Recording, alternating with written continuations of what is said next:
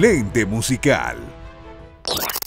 Señoras y señores, bienvenidos a Lente Musical, el programa de Mi Gente 3.0, encargado de lanzar todos los videos nuevos, pero no solo nuevos, sino los mejores. Aquí hacemos un filtrico, no es que viene todo el mundo a lanzar videos.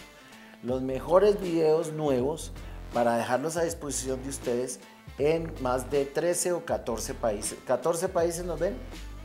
14 países que nos ven en toda habla hispana. Eh, este joven que traigo hoy, que es un niño, es un niño que toma tequila, porque anoche me lo encontré y lo, y lo vi tomando tequila en un evento de, un amigo de nosotros que se llama Jesse Uribe. Eh, este joven, que apenas tiene 30 añitos, ya, ya se vislumbra como una de las nuevas figuras de la música urbana. Lleva apenas un año eh, como intérprete, pero ya lleva más de tres años como compositor haciendo canciones muy importantes para muchos artistas, canciones que ustedes han oído por ahí. Por eso nosotros aquí en el estudio vamos a darle un aplauso gigante a Morelli. Bienvenido hermano. Gracias hermano, para mí es un placer estar aquí contigo, te lo digo. Bueno, hermano, no, el placer es mío y conocerte, no te conocí. Bueno, te conocí ahí dándole a la... Claro, eso es otro tipo de conocimiento, digamos. Sí, y no, y además yo ya te veía borroso. Sí, no, ya en ese momento no es, no es consciente completamente, así que ya tú a tú aquí estamos hablando bien. Pero el que te veía borroso era yo porque me tomé como medio No, mi respeto, te digo, yo hago eso y no me paro. Además, con la altura de Bogotá, no venía hace cuatro años, imagínate. ¿Dónde estás viviendo? En Miami. Vivo en ah, Miami, no venía hace cuatro años y claro, la cabeza embombada todo el día yo solamente te vi a ti con una botella así, yo dije, hermano. Hay que aclarar, mi, estábamos en un lanzamiento de un amigo que se llama Jesse Uribe, que es muy amigo de la casa y muy exitoso. Y él cogía una botella de tequila y decía uno, dos, tres. A mí me contó primero hasta siete y luego hasta diez. Y luego ya no pudo contar más. Y ojalá fuera así de rápido como lo hiciste, ¿no? Era uno, dos, No, ya, eh, mi respeto, usted Me quería matar esa quería matar ese man. Bueno. Eh, tranquila, Margie, le pones un pito. Bueno. Eh, esto. Hermano, la canción se llama Todo. Todo. La canción obviamente la escribiste tú. Sí. ¿Por qué se llama Todo? ¿Para quién es? ¿Cómo es? ¿De qué habla? Mira, yo estaba buscando una canción de amor. Me di cuenta que lo que había lanzado en mi proyecto no había una canción amorosa de me entrego a ti, completamente, que es lo que pasa en mi vida hoy en día, digamos, tengo a mi mujer y estamos en un apartamento muy bonito, con perro, todo ya, pues, sentado. Ah, ya estás es casado, sí, ya, falta la bendición del cura. Ya, o sea, ya casados completamente. Y ¿Cuánto llevan? Llevamos tres años. Ok. Ella confió en mí desde cero, así que es la correcta. Te confió cuando estabas mamando y ahora que estás exitoso está contigo. Eso, claro, eso, hay que tenerlo en cuenta. Y tiene que disfrutar los frutos también. Claro, es para compartirlos. En las malas. Te, voy a decir una cosa. Em, antes de la canción, ella apostaba tanto en mí que se metió a trabajar en una tienda de ropa y me dijo, tú sigues escribiendo canciones. Que yo pago el agua, la luz y el teléfono. Yo lo pago y no teníamos con qué. Rentamos un apartamento que costaba, no sé, el doble de lo que teníamos ¿En dónde? ¿En Miami? En Miami, que ya te imaginarás. es un poco más caro que aquí en el 20. Bastantico, bastantico, poquito. Y ella me dijo, sigue escribiendo canciones, que va a llegar el momento de que se devuelvan las cosas.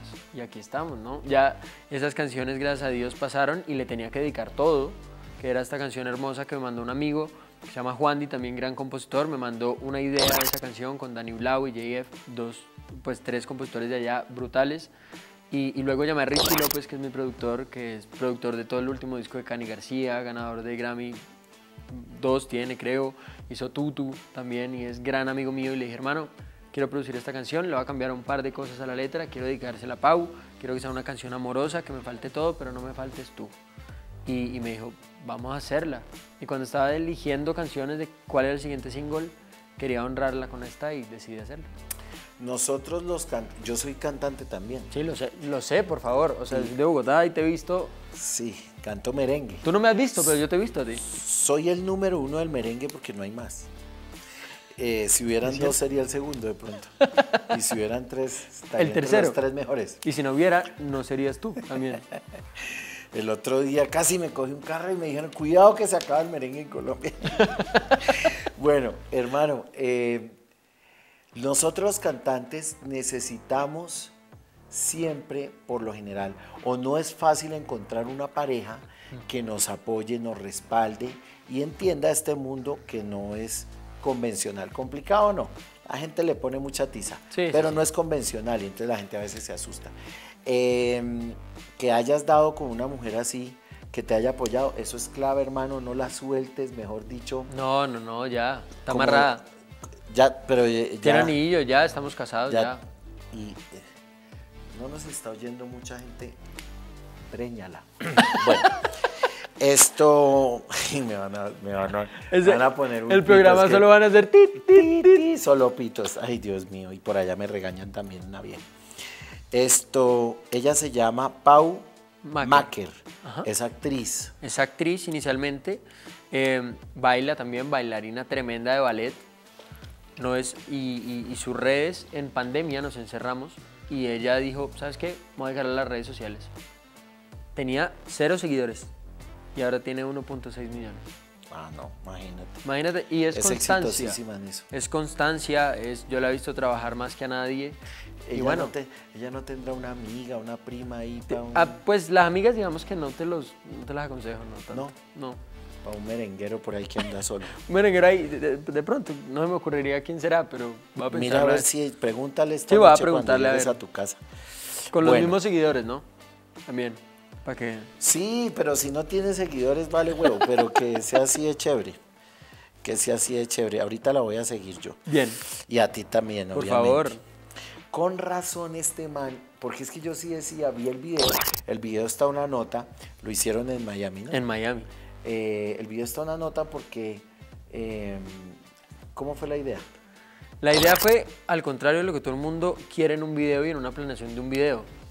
Sabes que uno siempre se sienta con el director y te dice, bueno hermano, la idea es que tú vas a entrar por esa puerta, luego vas a mirar la cámara uno, luego tal, y vas a besar a esta mujer. Yo le dije, quiero lo opuesto.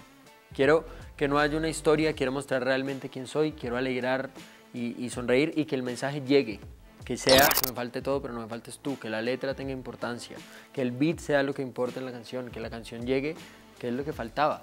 Que salieras tú cantando. Exacto, que me porque también la gente ha oído mis composiciones y no, no tienen cara, por supuesto, porque la gente sabe el artista, pero los compositores no los conocen. La gente no sabe que tú puedes ver quiénes son los compositores de una canción. Y, yo he estado aquí en el anonimato, digamos, que no ha sido así, pero he estado aquí en, una sombra y necesitaba ponerle cara. Porque la gente tiene que, verme y conocerme. No, obvio, tiene que conocerte además con una canción tan buena. Con razón no metió modelo porque todos los cantantes meten su modelito y, ay, mira, la modelo, ay, ¿quieres ser la modelo en mi video? Ven y te explico. Y le dan 5 mil pesos al director. Yo nunca he hecho eso. 5 mil pesos al director para que hayan escenas de besos y todas Claro, y y se tiene que repetir generalmente sí, claro, porque claro. no, no quedó bien, no, se jodió la cámara, no, no sé qué. O se empañó el lente, por ejemplo, cosas que pasan. Hasta que usted ya dice, bueno, ya me la chupé ya. Esto. Con razón ella no sale, o sea, o era ella o no salía modelo, sales tú Nada, Si acaso mi perro será. Está, muy bien. Hermano, eh, tu música tiene, en lo que alcancé a ver, tiene, sí, es urbana. Sí, claro. Es urbano. Pero tiene el, aire, es un poco popcito, ¿sí o qué? Total, yo, yo me crié. Llevaba, hacia el... Me crié con baladas también aquí. Finalmente yo oía música de todas partes. Lo primero que yo oía y hacía shows chiquitico era menudo, imagínate tú. Menudo. Sí, me las sé ah, todas. Bueno, la mayoría. Y mi mamá siempre me apoyó con la música y crecí oyendo de todo. ¿Cómo así que también haces raspa? Imagínate, tengo una canción A la gente que, no sabe qué es la raspa. Exacto, ese... Y yo quería hacerle un homenaje a Colombia. Yo estoy en Miami, pero soy orgulloso de ser colombiano y eso no pasa. Aquí la gente siempre quiere ser de otro país. y yo quiero ser de Colombia. Yo soy colombiano. Yo nací aquí, me crié acá. además, la música colombiana está de moda. No, no está de moda. Todos los, en todos los géneros tenemos a los cinco o seis principales Total. y son colombianos. Y el talento que hay aquí, O sea, el talento que hay en Colombia es innegable y quería hacerle un homenaje y la canción se llama Guaro. Es una canción para beber fuerte. Eh, fue mi sencillo No anterior. es la de Pipe Bueno. No, de casualidad. Y creo que salió la- por ahí por las mismas semanas y yo dije, Y ahora. tuvimos un problema con eso, me acuerdo porque, pues no problema, pero me dijeron, Pipe Bueno va a sacar una canción que se llama Guaro y yo, bueno, pues ya. Yo también. hubieras puesto media de guaro. Eh, Exacto. Y ya cambia la Pero, vaina. pero te digo que fue muy bonito y tiene cosas de raspa. Ahorita tengo varias canciones las que vienen. Tengo una cumbia, tengo una ranchera, Qué bien. eh, tengo un merengue, que obviamente es merengue con pop. Merengue. Merengue, tengo, o sea, se llama Quítame, te lo voy a decir aquí. No, Quítame. hermano, ya la voy a buscar y No, no después- está, no está, no está. Ah, la vas. Está en mi celular. Está en mi celular por Ahora ahora. me la muestras y hacemos un remix. Vamos a hacerlo. Tú y yo. Voy a sentar allá a producirla con Richie López y, y le metemos. Y le hacemos feliz. un remix. Compromiso. O sea, vamos a hacer. cámara. eh, Sí. Morel y yo vamos a hacer un, un merengue. Que es de él, que yo voy a ser el invitado. Bien, me gusta, me gusta tu idea. Hermano, eh, tu jefe de prensa, que se- te veo siempre con ella en los eventos, eh, se llama Alejandra, ¿no? Imagínate. ¿Estás soltera o casada? Está en, en una relación. Ay, qué Yo, lástima. yo pensé que tenía oportunidad, pero pues no. Qué lástima, bueno. Y que no vino hoy, pero bueno, me la saludas. Dale, claro. No le voy a decir que le mandas besitos. Eh, hermano, pide, eh, presenta tu canción a esa cámara. Familia, soy Morelli y los invito a que no se pierdan todo, que les va a encantar y dedíquenselas todo. Y me das el teléfono de tu jefe de prensa de todas maneras. Pero te lo paso en secreto para que digamos, a ver.